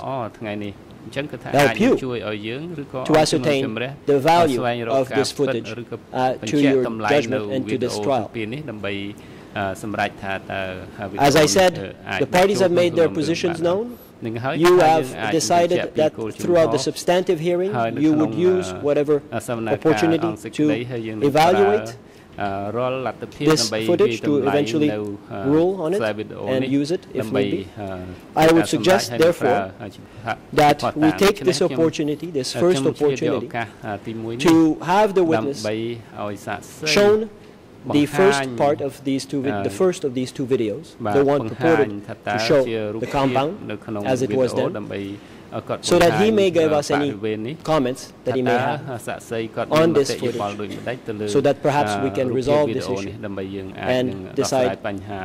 អឺ you decide ដែល what to បន្ត do with this footage in ដើម្បី the future. ឲ្យអង្គជំនុំជម្រះ That's my សម្រាប់ថា humble តើ submission. ត្រូវសម្រាប់ដូចម្ដេចទៅលើអឺខ្សែវីដេអូនេះ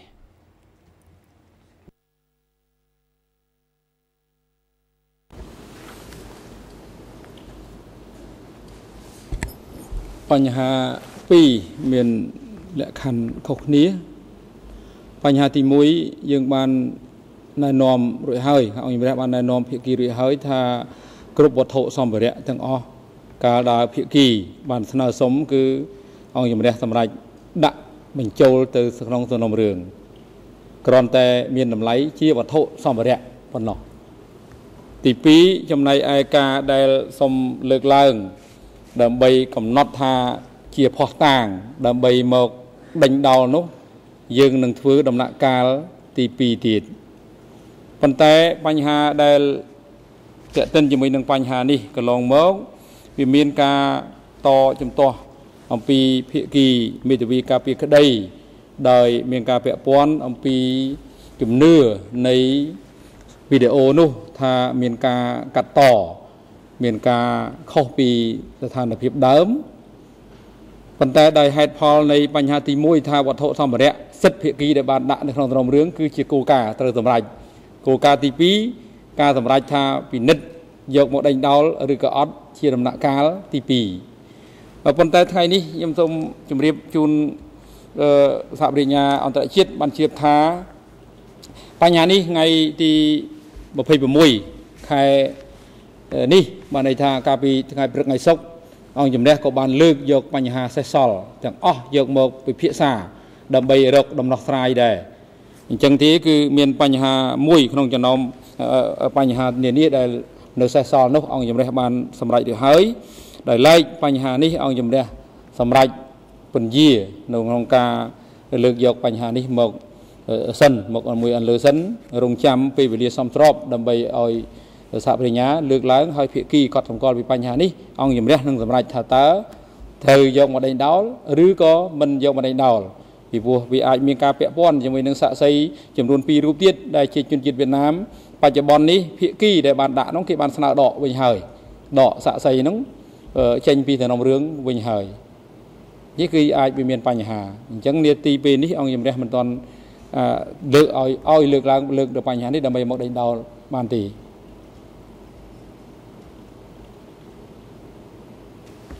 យល់ទេនៅក្នុងអំឡុងពេលដំណើរការដេញដោលទៅមុខទៀតអង្គជំរះនឹងពិចារណាបញ្ហានេះប៉ុន្តែអំឡុងអំឡុងពេលនេះគឺមិនទាន់សមស្របក្នុងការលើកបញ្ហាហ្នឹងយកមកសម្រេចថាដេញដោលឬក៏អត់ទេដោយសារមានការពាក់ព័ន្ធជាមួយនឹងការកត់សម្គាល់របស់មេធាវីការពារក្តីអំពីភាពមិនត្រឹមត្រូវនៃវីដេអូទាំងពីររឿងហ្នឹងថាមានចំណុចខ្លះគឺមានការបំភ្លៃបំផ្លាស់ការពិតគឺមានការ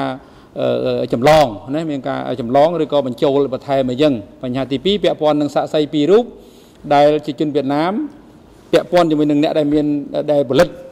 ខ្សែវីដេអូនោះ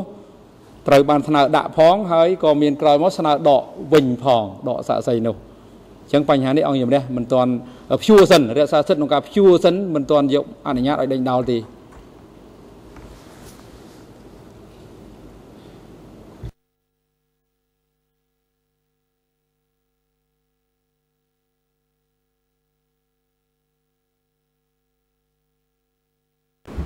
Thank you, Mr. President. Um, I gather therefore that the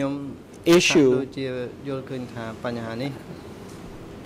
I gather therefore that the issue is not live, or at least that the trial chamber does not wish at this point to entertain this issue, and will therefore reserve uh, our comments and observation at a later date. Therefore, I have no further question, but with your permission, Mr. President, on behalf of the co-prosecution, I'd like to thank the witness for his testimony today, and indeed for the testimony has been given for the last 30 years. ថ្ងៃនេះដែលបានដែលគាត់បានមកផ្ដល់តក្កកម្មនិងអ្វីដែលគាត់បានផ្ដល់ចំពោះព្រឹត្តិការណ៍កើតឡើងកាលពី30ឆ្នាំមុនសូមអរគុណជាកិច្ចបន្តនេះសូមបកគលវិទ្យានេះទៅ មេធាវីអ្នកតំណាងឲ្យដើមម្ដងរដ្ឋបវិនីដោយចាប់ពីមេធាវីអ្នកតំណាងដើមម្ដងរដ្ឋមីក្រុម4ក្រុម4មុនហើយសូមជម្រាបផងដែរថាសម្រាប់ពេលវេលាសម្រាប់មេធាវីអ្នកតំណាងដើមម្ដងរដ្ឋវិនីមួយក្រុមមួយក្រុមគឺមានពេលវេលា10មីនិតសម្រាប់សួរសំណួរដល់សាក់សីរូបនេះសូមអញ្ជើញមេធាវីតំណាងដើមម្ដងរដ្ឋវិនីក្រុម1ក្រុមក្រុម4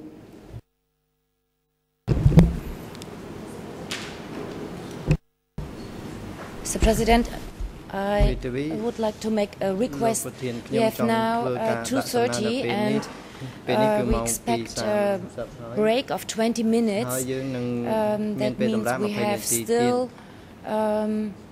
100 minutes and uh, I think we have more time, a little bit more time than only 40 minutes for uh, the remaining parties and therefore I would like to request to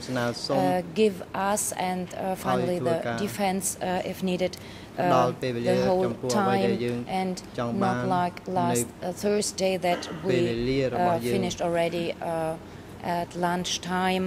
and had the whole afternoon without having uh, the opportunity to ask questions. Thank you. ពេលម៉ោង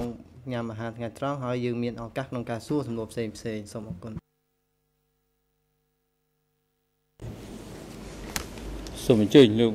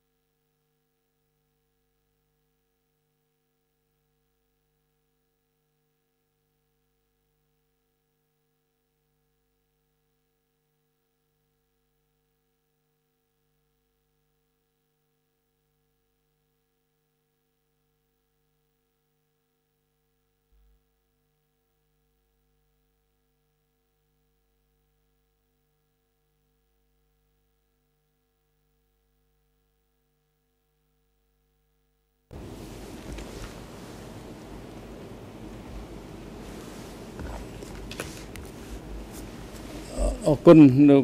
ស្រីមេធាវីតំណាងដើមរងក្របផ្នែកវិក្រម2ដែលបានលើកឡើងបញ្ហានេះហើយបានគិតគូរដល់ថាមានពេលវេលា ខ្លះដែលយើងធ្វើសកម្មភាពទៅ មានការសល់ម៉ោងផងប៉ុន្តែយើងក៏បានមិនបានគិតទេថាកន្លងមកយើងធ្វើសកម្មភាពយឺតដោយសារអឺពន្យាពេលក្នុងរយៈពេលដេញដោលនេះលើសម៉ោងរហូតដល់លើសច្រើនសប្តាហ៍ទៀតនេះគឺដោយសារមូលហេតុនៃការ មិនបានកំណត់អំពីវិធានក្នុងការកំហិតពេលវេលានេះហើយទី2គឺអង្គជំរះបានជម្រាបដល់ភាគីរួចហើយការកំណត់ពេលវេលានេះជាការសម្រេចមួយរបស់អង្គជំរះដើម្បីពន្លឿននៃដំណើរការសកម្មភាពដេញដោលនៅក្នុងរឿងក្តីនេះឲ្យសមតាមបំណងរបស់សាធារណជនជាតិនិងអន្តរជាតិដើម្បីបបហេតុយុទ្ធធរក្នុងនោះក៏មានមតិភាគីទាំងអស់សិតតែស្រែក ទៅទូចនៅលក្ខខណ្ឌនៃការលឿនសកម្មភាពដែរគឺដាក់បញ្ហានេះឲ្យអង្គជំរះអញ្ចឹងអង្គជំរះមានសិទ្ធិនៅក្នុងការសម្រេចហើយអង្គជំរះមិនកែប្រែនៅក្តីសម្រេចរបស់ខ្លួនទេអង្គសម្រេចអង្គជំរះនឹងសម្រេចថាបើលឿនជាងនេះទៀតគឺទទួលតែបើយឺតមិនទទួលទេសូមអញ្ជើញលោកមេធាវីហុងកំសួន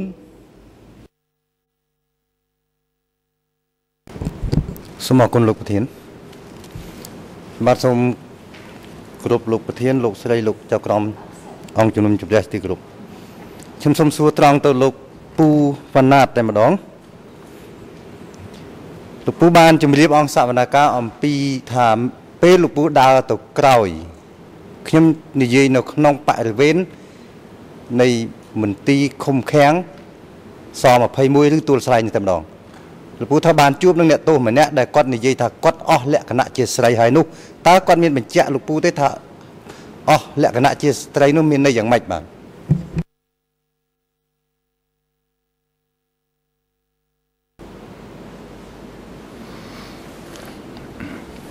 ជំរាបសួរលោកមេធាវីភាសាខ្មែរយើង ដែលចំពោះខ្ញុំបាទខ្ញុំបាទយល់ថាគាត់និយាយតែពី3ម៉ាត់ថាគាត់ ពេលគេសួរចម្លើយគាត់អត់មានលក្ខណៈជាស្រីហើយនោះបានតែថាអ្វីអ្វីដែលគាត់ក្លាប់បិទបាំងមានលក្ខណៈជាមនុស្សស្រីគឺត្រូវចប់នេះខ្ញុំសូមជម្រាបប៉ុណ្ណឹងខ្ញុំអត់មានធ្វើអត្ថាធិប្បាយអីបានក្បោះក្បាយជានេះទៀតទេបាទសូមជម្រាបប៉ុណ្ណឹងបាទបាទសូមអរគុណដោយសារមុននេះលោកពូបានជម្រាបទៅលោកប្រធានអង្គសវនកម្មអំពីរូបភាពមួយ ដែលគូរូបលោកពូគូដាក់ ថាមនុស្សស្រីម្នាក់ត្រូវបានគេធ្វើទណ្ឌកម្មគេរនកម្មនោះអញ្ចឹងក្នុងរូបនោះវាមិនបានបង្ហាញឲ្យដិតដល់អំពីថាតើឃើញមានរូបហាក់ដូចជាមានដង្កាប់សំទោសនិយាយឲ្យចំគឺយកដង្កាប់គៀបសុដនរបស់ស្ត្រីនោះឬមួយចង់មានន័យថាគេសម្រាតអស់ពីខ្លួន ពេលសួរចម្លើយ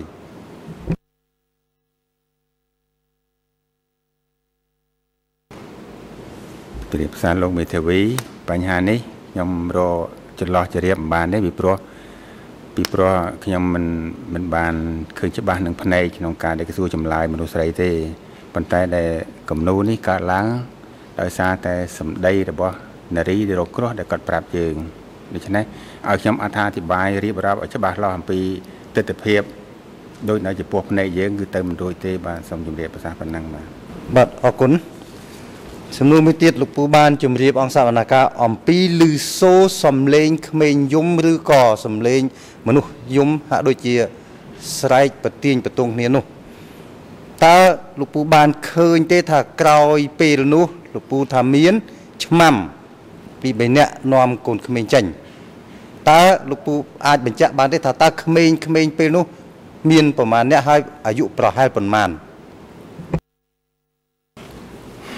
បាទជម្រាបសារលោកមេធាវីពើបញ្ហានេះខ្ញុំមិនបានឃើញមែនប៉ុន្តែទៅជាខ្ញុំឮវាប្រទេសបន្ទងគ្នាឬសូដោយដំបងវាយភឹបផាប់ភឹបផាប់ចឹងទៅ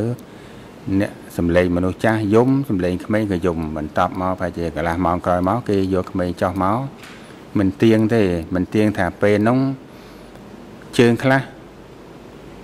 មាន5នាក់ ជើងខ្លះមាន6នាក់ជើងខ្លះមាន3នាក់ហើយកុមារកុមារនោះក៏មិនមិនប្រកាសថាវាជាអាយុប្រមាណឲ្យគ្រប់ពេលដែរប៉ះថ្ងៃណាទៅឃើញ3កូនម្នាក់3មកបែរជាអាយុ6 7ខែហ្នឹងមួយទៅបដាកូនក្មេងម្នាក់ពីរនាក់មកជាមួយទៅហើយម្នាក់ក្រោយជីដឹកដៃមួយដឹកដៃមួយខ្នែជាងម្នាក់មកដឹកមកចកាល3 4នាក់អញ្ចឹង វាមិនច្បាស់ប្រកាសថាប៉ុណ្ណេះប៉ុណ្ណេះជំរាបបានទេនេះខ្ញុំជំរាបតែប៉ុណ្ណឹងចោះបាទសូមអរគុណលោកពូបានជំរាបអង្គសាវនាកាថាឃើញដឹកដៃ3កូននោះមានន័យថាដឹកដៃឬក៏3កូនចូលទៅក្នុងបន្ទប់ឃុំឃាំងឬឆ្មាំនាំគាត់ចេញពីបន្ទប់ទៅក្រៅវិញ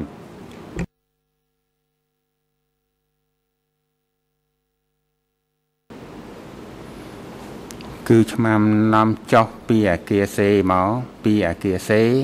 ចេញតាមបៀងកន្លែងខ្ញុំធ្វើការហ្នឹងទៅក្រៅទៅ ទៅក្រៅទៅប៉ុន្តែផុតតែភ្នែកខ្ញុំពីបង្អួចខ្ញុំអត់ដឹងគេទៅណាទេខ្ញុំមើលបានត្រឹមតែបង្អួចខ្ញុំនឹងទេបាទបាទសូមអរគុណសំណួរមួយទៀតលោកពូបានជម្រាបអង្គសវនាការរួចហើយតែខ្ញុំសូមមកច្បាស់បន្តិចថា នៅពេលដែល ពួកឆ្មាំសួររកអ្នកចេះគូរូបហើយគេគ្រាពូចុះមកមិញបានរៀបរាប់ហើយខ្ញុំចង់សួរបន្តថាលោកពូថាឃើញបងខាងកើតមកកន្លែងលោកពូគូរូបស្ទើររាល់ថ្ងៃមានន័យថាចាប់តាំងពីថ្ងៃលោកពូចាប់គូរូបមកគាត់មកស្ទើររាល់ថ្ងៃនោះឬយ៉ាងម៉េច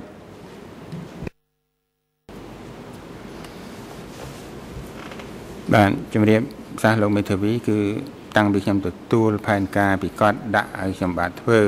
រូបប៉ុណ្ណេះប៉ុណ្ណេះធំប៉ុណ្ណេះប៉ុណ្ណេះមកគឺគាត់ពីពេលហ្នឹងមកគាត់ឡើងចូលមកញឹកញាប់បើមិនចូលព្រឹកគាត់ចូលល្ងាចតែភាកច្រើនគាត់ច្រើនចូលល្ងាចហើយនឹងយប់ម៉ោង8 9ព្រឹកគាត់មិនសូវជួយមកតែយប់គាត់ឯងមកគឺជារៀងរាល់អញ្ចឹងមកបាទសូមអរគុណមានន័យថាតាំងពីពេលលោកពូចុះអសំទោស ពេលគេអនុញ្ញាតឲ្យលោកពូគូរូបហ្នឹងគឺលោកពូត្រូវបានចាប់ពីថ្ងៃទី8ខែមករា1978រហូតមកទល់ពេលគេដោះលែងលោកពូមកឲ្យគូហ្នឹងមានរយៈពេលជាង1ខែអញ្ចឹងខ្ញុំចង់សួរពេលហ្នឹងអាក្រោយពេលជាង1ខែហ្នឹងមានន័យថាក្នុងខែមករាឬក៏ខែកុម្ភៈទៅចោះជាង1ខែគឺខែកុម្ភៈ1978ណាតើពីពេលហ្នឹងមកឬដែលថាលោកដូចឬបងខាងកើតហ្នឹងដែលគាត់មកជាញឹកញាប់នោះ បាទពេលហ្នឹងពេលហ្នឹងបាទបាទសូមអរគុណអំពីរឿងដែលគេយកឬក៏ឆ្មាំនាំពូចូលទៅក្នុងបន្ទប់ឃុំឃាំងដែលមកដល់ដំបងលោកចៅក្រមបានសួរឲ្យប៉ុន្តែខ្ញុំចង់បញ្ជាក់បន្តិចអំពីរឿងគេយកខ្សែចកេះខោឬខ្សែក្រវ៉ាត់ចេញនោះតើមានន័យថាគេបដូរខោអាវដែលលោកពូទៅពីអង្គពីមូលដ្ឋានទៅចេញសិនគេឲ្យខោអាវថ្មីផ្សេងមកវិញដែលអត់មានខ្សែនោះឬក៏គេ ចូលទៅគេដកយកខ្សែចកេះឬក៏ខ្សែក្រវ៉ាត់ចេញសាសលោកមេធាវី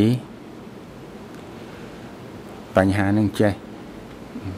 យើងចូលទៅដល់ក្រោយពីរៀបចំរួចហើយគេឲ្យយើង អ្នកមានខោអាវខ្មៅគឺដោះចេញទាំងអស់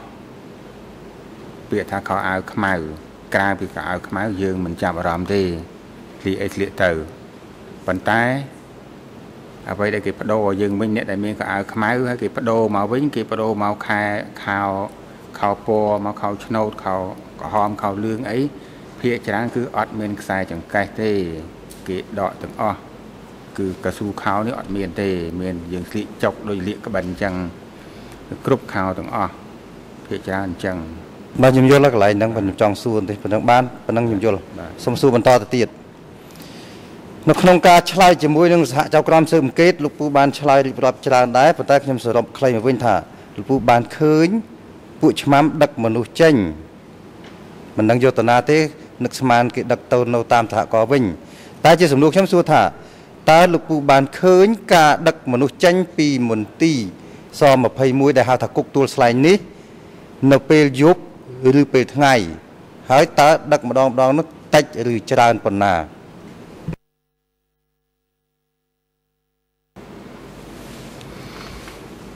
ជំរាបសាស្ត្រលោកមេធាវីបញ្ហាចល័តអ្នកទោសបើការពិតទៅគេធ្វើរៀងរាល់ថ្ងៃវាគ្រាន់តែត្រង់ទ្រាយតូចនិងធំប៉ុណ្ណោះពីព្រោះទីនោះវា គឺជាជំនាញវាជារឿងការងារស្នូលប្រចាំទីនោះជារាល់ថ្ងៃជួនគេដោពីអាគារមួយទៅអាគារមួយគេដោពីបន្ទប់មួយទៅបន្ទប់មួយអ្នកណាសួរចម្លើយយកទៅសួរចម្លើយមកថ្មីចូលមកថ្មីមក ហើយ3 4 5ថ្ងៃណាគេជូនចេញក៏ជូនចេញទៅវិញទៅដូច្នេះសកម្មភាពហ្នឹងវាវាមានផុសផុលស្ទើរតែរាល់សប្តាហ៍រាល់ថ្ងៃហើយពេលយប់មិនដែលឃើញជូនចេញទេជូនចេញតែពេលថ្ងៃល្ងាចល្ងាចគេចាប់រៀបដំណើរទាំងត្រង់គេចេញគេរៀបឲ្យចេញមកណានោះខ្ញុំជើងខ្ញុំមិនបានដឹងដែរគឺយើងដឹងនៅក្នុងបន្ទប់របស់យើងគាត់ថាការរៀបចំទៅចេញទៅហ្នឹងគឺ ក្នុងរយៈពេលតែថ្ងៃម៉ោង3ម៉ោង4គេចាប់ផ្ដើមរៀបហើយហើយព្រឹកក៏គេមានរៀបដែរធម្មតាតែប៉ុណ្ណឹងកន្លែងនោះបាទបាទសូមអរគុណខ្ញុំសួរសូមសួរតកតងជាមួយនឹងសំណួរអឺនឹងចម្លើយមួយដែលលោកពូបានជម្រាបអង្គសវនាការតែខ្ញុំចង់ដឹងថាលោកពូបានទៅកន្លែងជាងនៅខាងក្រោយហើយបានឃើញគាត់កំពុងដាក់សម្ោចនៅក្នុងប្រអប់មួយមានក្អែប តើនៅកន្លែងនោះចិត្តកន្លែងដែលលោកពូគូរូបឬនៅក្នុងរូបភាពដែលខ្ញុំមិនបានសុំបញ្ចាំងឡើងវិញ នៅខាងក្រៅអាគារ B និងអាគារ C មែនឬទេ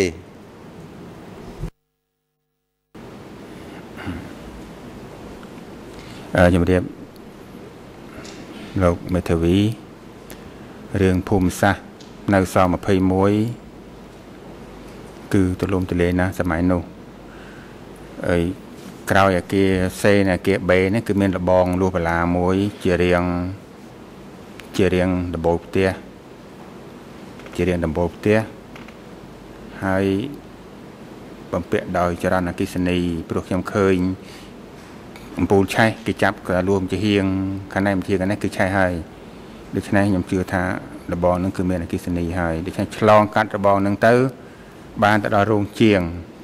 រោងជាងឈើនោះ មានរោងជាងម៉ាស៊ីននៅនឹងរោងជាងឈើនិងផ្ទះបាយផងនិងកន្លែងចិញ្ចឹមជ្រូកផងដូច្នេះទីនោះវែងណាស់វាបដោវាវែងស្មើតែស21ដែរតែតឹងវាក៏ស្មើប៉ុណ្ណឹងគ្នាដែរហ្នឹងវាជាសាលាបឋមសិក្សាទួលស្លែងទីនោះដូច្នេះទីធ្លាបឋមសិក្សាទាំងមូលហ្នឹងគេយកធ្វើកន្លែងដូចខ្ញុំជម្រាបបាយមិញហ្នឹងដូច្នេះកន្លែងហ្នឹង ជាកន្លែងរបស់តាជាងឈើរបស់កន្លែងជាងឡានរបស់កន្លែងអ្នកចិញ្ចឹមជ្រូកបោកខោអាវចុងភៅនៅនឹងទាំងអស់ប៉ុន្តែគាត់នៅកង់កង់កង់ផ្សេងគ្នាហើយតាដែលគាត់មើលដែលឆ្មាំឆ្មាំក្មេងៗយកទៅឲ្យគាត់មើលហ្នឹងគឺមានទ្រុងសណាញ់ទូចមួយដឹងកាលណាគេធ្វើខ្ញុំមិនបានដឹងទេឃើញគាត់ដាក់នឹងទៅ វានៅចិត្តក្បែរកន្លែងគាត់ធ្វើការហ្នឹងចាប់នឹងអាដែងម៉ាស៊ីនអាឈើរបស់គាត់តូចមួយថ្នាក់តូចមួយហ្នឹងគាត់តែងតែតិចតិចគាត់យកស្អីទៅដាក់ឲ្យវាមើលតែវាស៊ីអី